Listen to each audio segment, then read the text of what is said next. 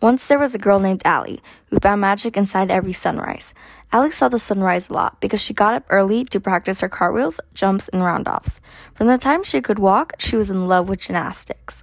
When she turned 10, Aly told her coaches, I'm going to go to the Olympics and I'm going to win floor. She had just met these new coaches a few days before, but they took one look at her bright, determined face and knew she meant business. A few years later, she began collecting gold medals in major competitions. She flipped and vaulted, soaring through the air in glittering leotards.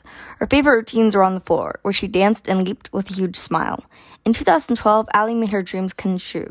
She was going to the Olympics. She and her incredible teammates were nicknamed the Fierce Five, and these fierce gymnasts chose her to be their team captain. Being a gymnastics team captain is challenging.